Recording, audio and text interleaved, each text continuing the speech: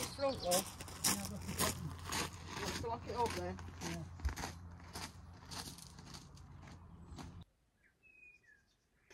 Me and my grandparents have come away for a few days to a caravan, so I'm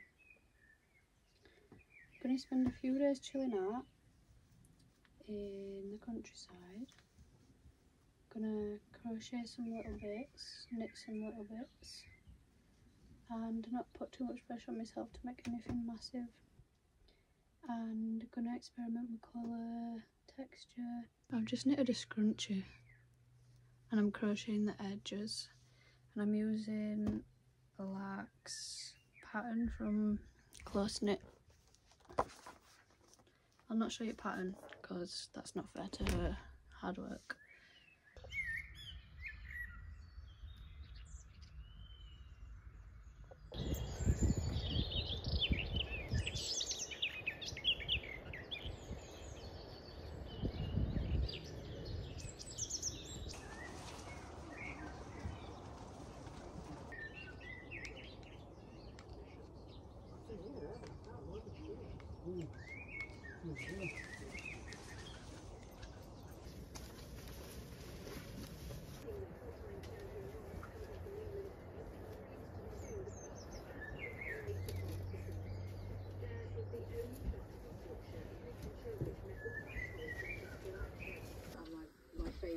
To do. Just love that people are losing an average of £750 each because wages.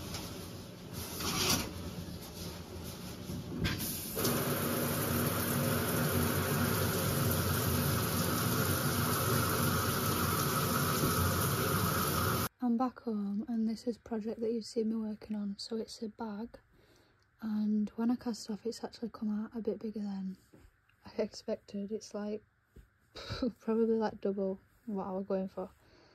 But I love the colour work that I've done on it. And then I've got little bits that I want to embellish on outside as well as some pockets. I'm going to do a square base and then I'm also going to do big straps um, that's going to come from here to here. So that'll go round and up and then that'll be bag part to put the stuff in. And then I'm going to have another strap going from there all the way back around to the other side. I think I'm going to use white. I think I just need to balance it out a bit with a plain colour because I ran out of this. Otherwise this would have probably substituted this bit. So they're going to be straps I think to lighten it up a bit. I think that's going to be a perfect addition for the rim round my straps and round edge at hem at top. And then I'm going to use some of this Nara Fat base I think because it feels right strong and then I'll probably hold it double with some cotton. Lad, he likes a kid. Well, then he doesn't need the gift receipt. You know what? I'm just gonna put all this stuff together in the same pile over here if that's cool. I think I know who this is from. As you have been saying, then it shouldn't be a problem if if. Yeah. Oh, there you go. Kurt, don't, don't do it please.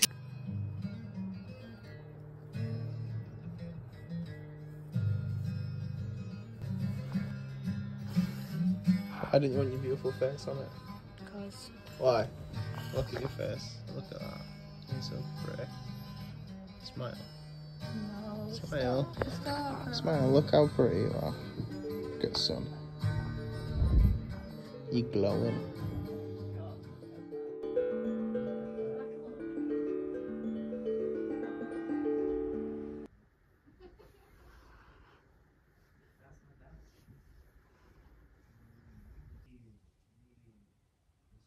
I'm in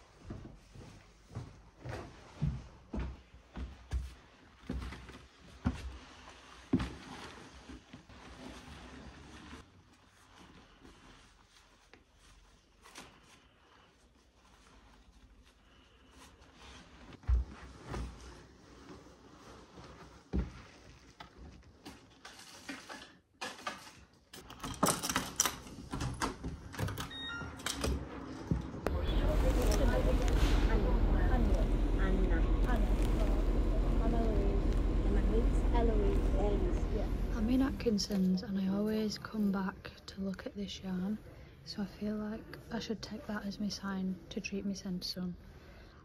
I think I'm going to make another bag. And I really like this charcoal colour, it's not something that I'd usually use. But I think I might just get two, one of each, two of these, super fine alpaca. And I can always dye this with my acid dyes if I want a different colour in end. But I feel like this will look really nice against some bright colours in a bag. These are all at different colours in this line. There's grey, charcoal, fawn, and then the cream down there. And that too I think I'll get.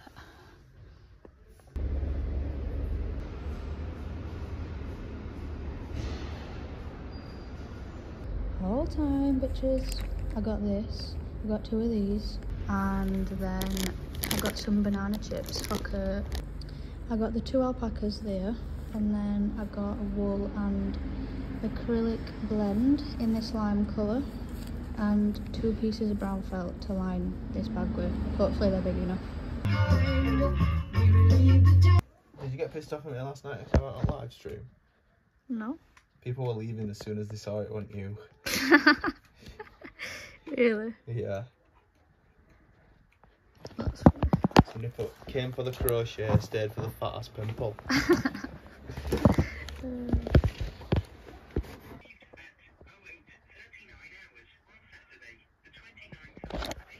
For that. Emily. There's 20, what, 29th anyway, I were in yesterday.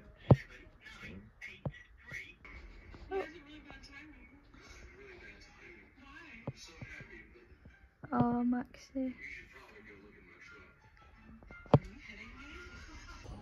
I'm going for a walk to to Res.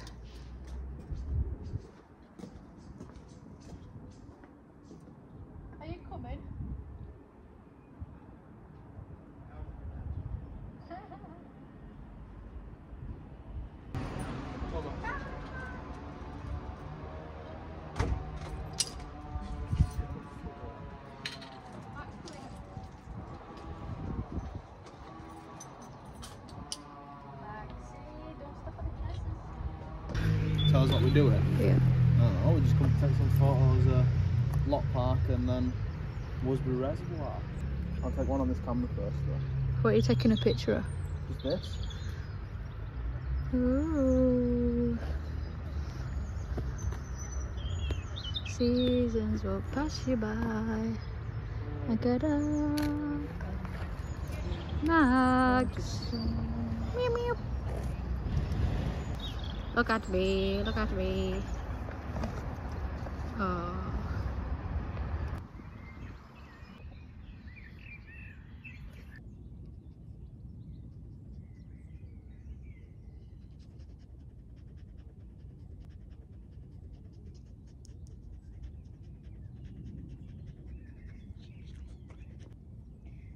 Feeling a bit creatively burnt out and uninspired from working on drops so heavily recently. And I made that bag that I've been showing you in this video this the slouchy one that the yarn what in that I was carrying around.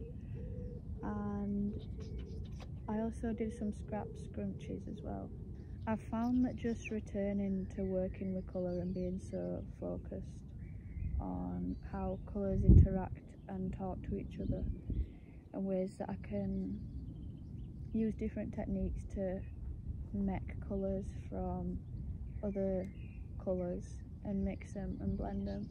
So it's basically thinking in the way of a painter how he has his he has his palette and then he puts his colours on and he blends colours into different shades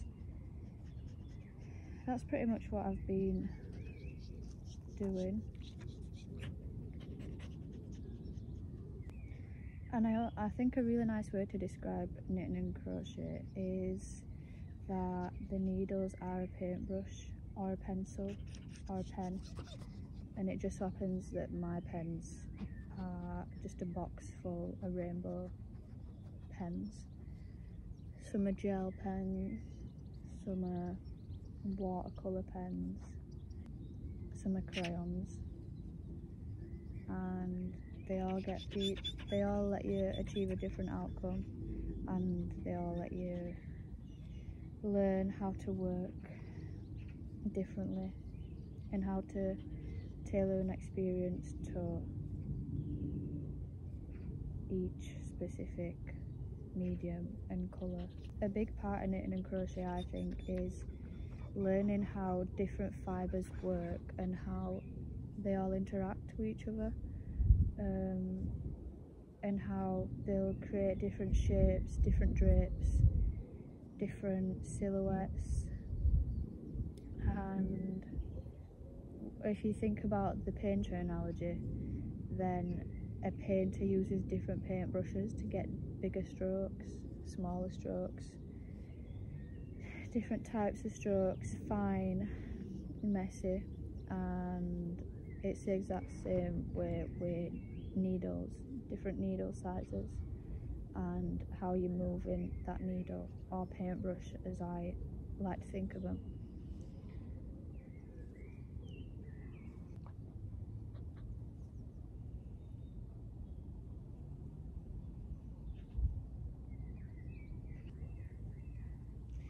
Me, Kurt and Max have come to Upton Park and Kurt's taking some pictures and Max fucking pissed on me. Max just cocked his leg up and started pissing on the side of my trouser and then after here I think we're going into town for Kurt to get some more SD cards for his camera and I feel rough today. I feel rough as a dog. I feel rough as a dog. I feel rough as a dog. I feel rough as a dog. I feel rough.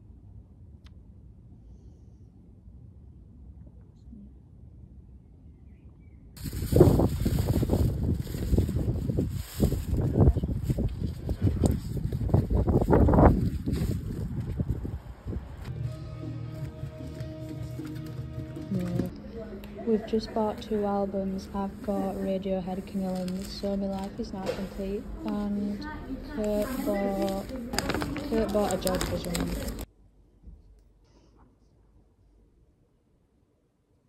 I can't actually believe it.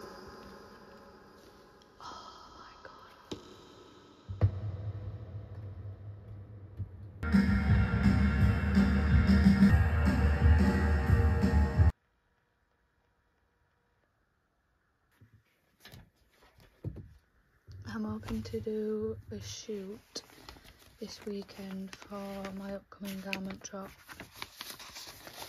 So I think I'm gonna just start planning it in this, get some reference pictures printed out and stick them in. I forgot I actually wrote this in here. That was for my green and purple dress that I knitted.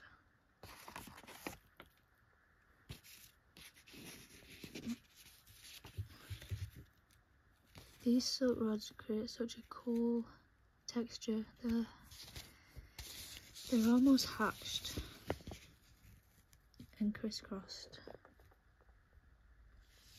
But yeah, I think I'll do that this morning and I also need to finish the wedding dress that I've got to do. That needs to be done in about two days.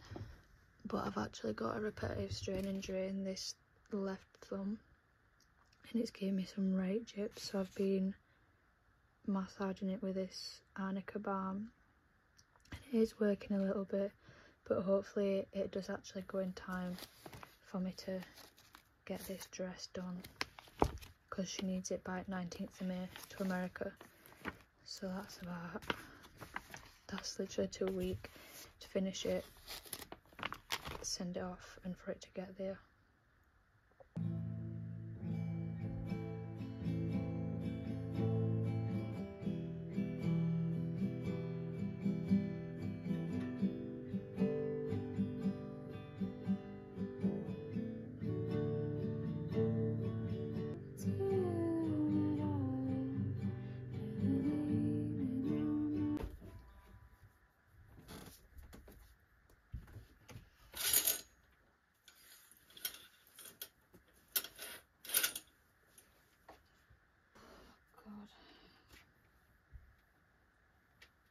This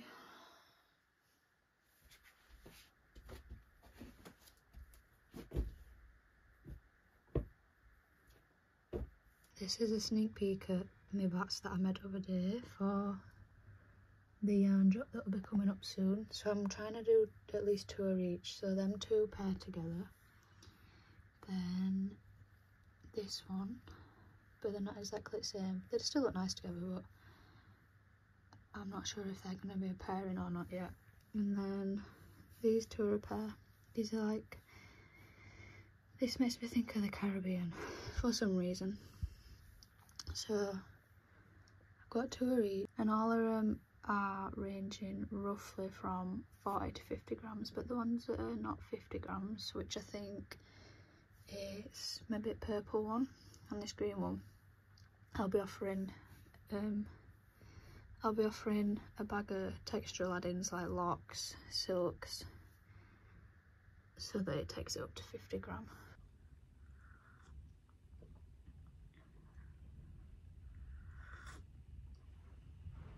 I think I'm going to make some more bats this morning, just as a bit of a meditative thing. That's all my supplies. Blending board, carders. Oh, that's it.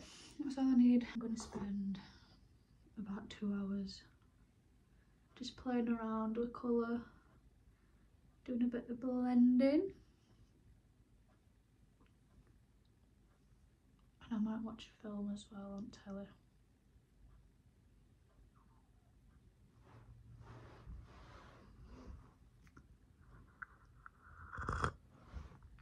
This looks like coffee because there are darkies, but it's tea.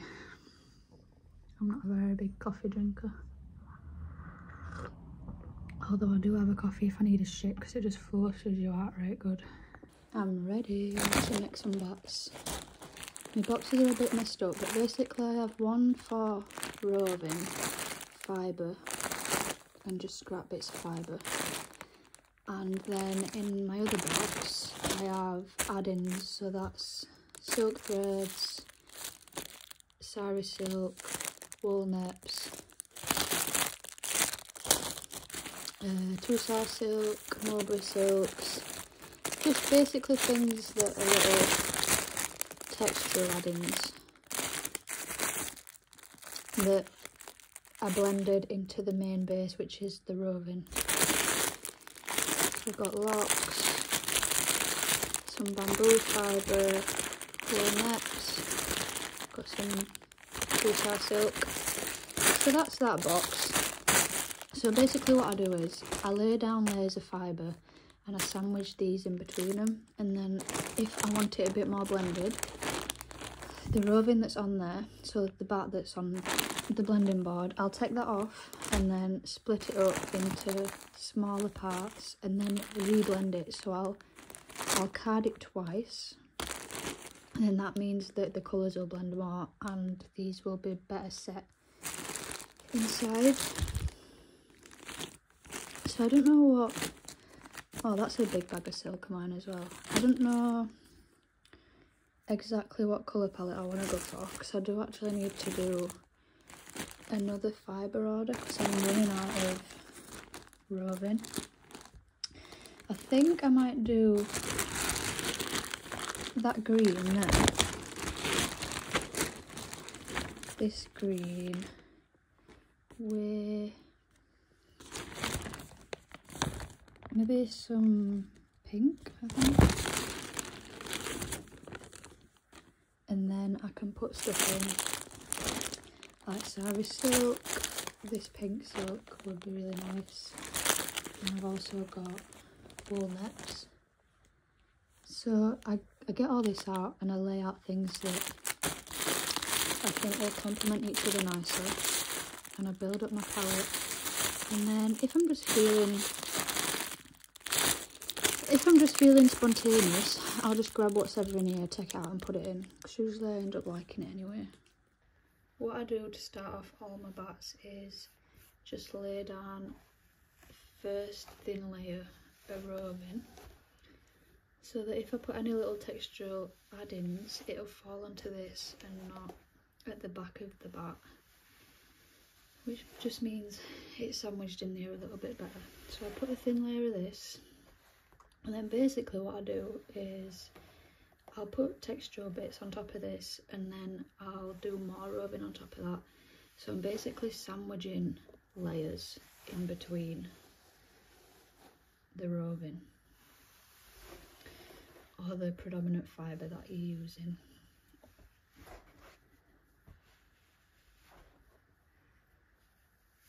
So then once I've got that first layer down, I'll get bits like this. And usually I only want a little bit because the colour definition is quite intense when you're spinning.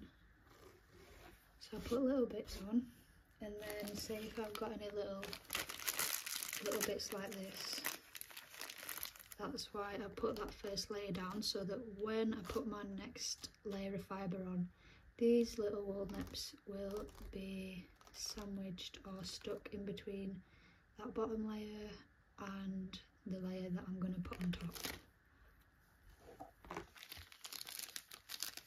And it just keeps everything nice and intact in there. So I'm just building it up. The colour palette might change a little bit as I go on. I never really know. I just do it intuitively. And I work the same way when I'm knitting and crocheting. So some silk threads. Get some of these little green bits in.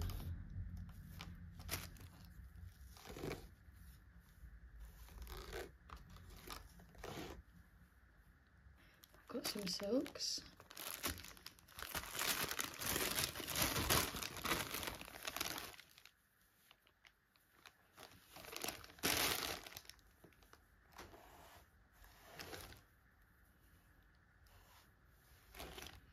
First blend is done so I usually take this off like this.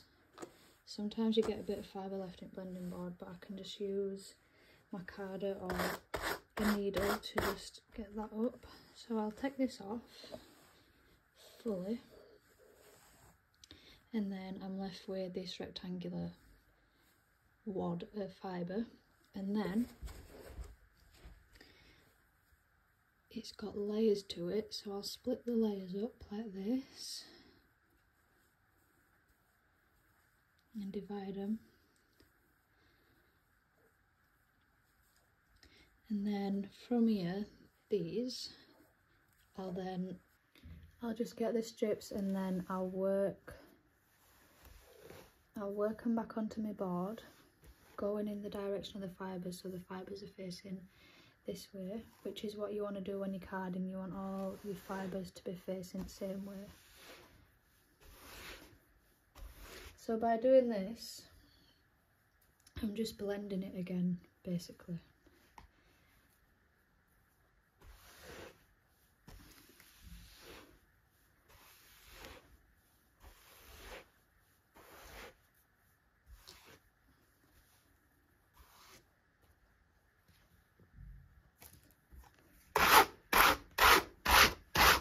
My friend wants to get into spinning, so I'm blending her a little bit of fibre to send to her so she can have a go at it. And I'm using some Shetland because Shetland's a bit of a stickier fibre and it's a bit more forgiving than merino is to begin with. And Shetland kind of allows you to focus on getting your coordination down with all the different movements without having to worry too much about uh, it's snapping as much but then it also obviously at some point it will snap but it allows you to rejoin bricks quite easily. So I've just blended I put a layer of Shetland on and then got some of this pineapple fibre with some silk in it and then some Tussar silk. Just to add a bit of colour because I know her colour preferences are a bit different to mine and I think she'd like this. So I'm going to blend this, make her a little bat. Maybe I'll diz it so that she can spin straight from it and it'll be a long piece of fibre.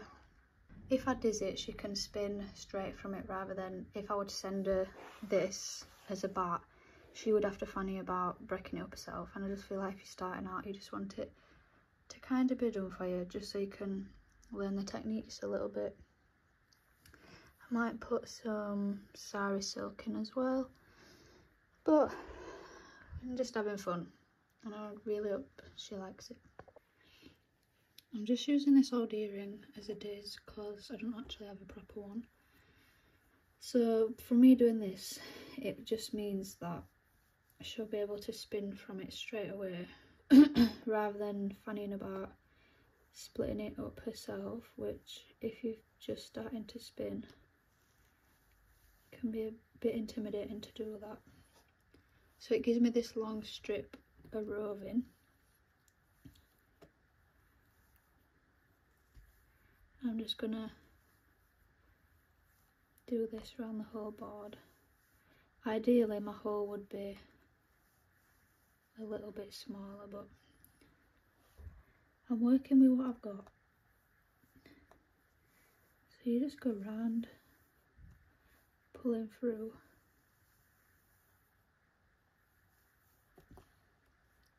And then I can go like this for her and then she can just spin straight from that.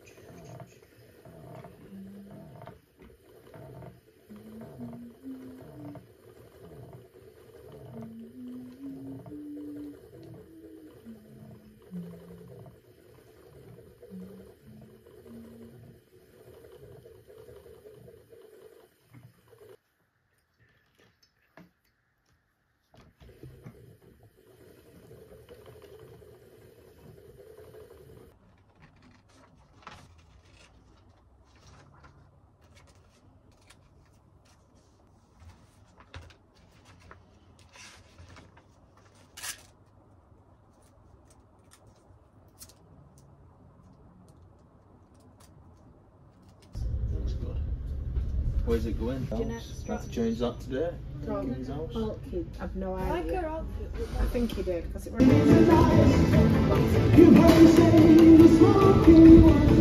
How much do you love them on a scale of? Now everything's new.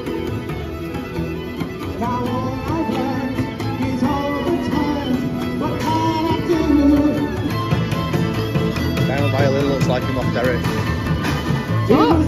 Guy off Derek, you know that guy who drinks um, special brew off the carpet. You I'm on about? Yeah. like him. Oh, Ryla's putting money in it.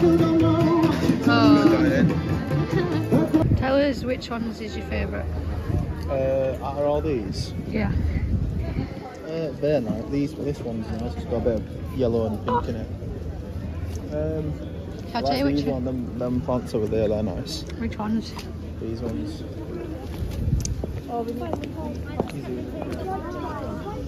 Why don't you get one for your room? I've got too many plants. I know where to put them. But I, like, don't I really really that like them. water though? That one's nice. That's more, not like more round. round ones? Looks like a Get kaleidoscope when you look at it. you don't need much sunlight. How much are they go? They look like sea urchins Six then. quid, yeah, they do, don't they? Six Nice quid for plant.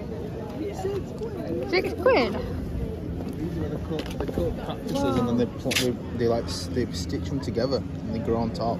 I love that. Aloe vera there. Mm, Seven yeah. quid. The aloe vera plants grow massive. Have you seen it when they cut them off? What, aloe vera? Yeah, it's like clear inside.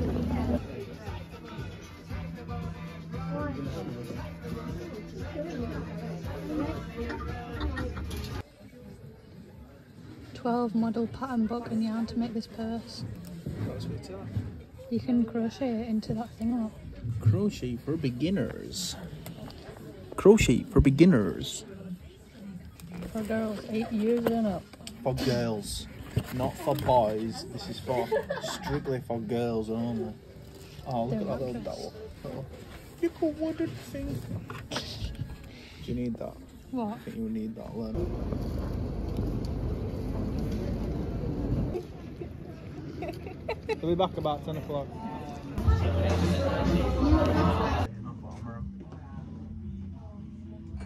Oh no, it's not just fluff.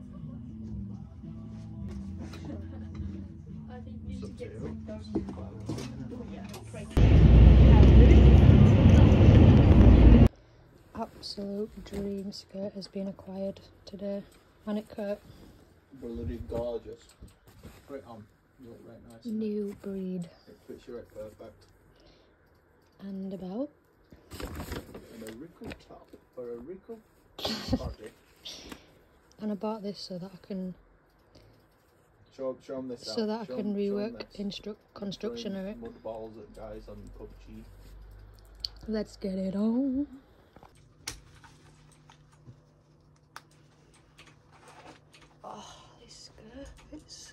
perfect. Oh my god.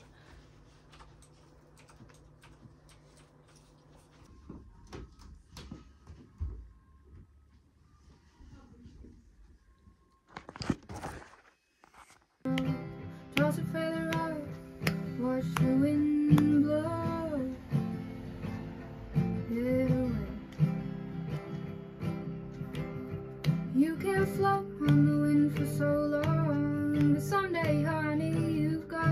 number down.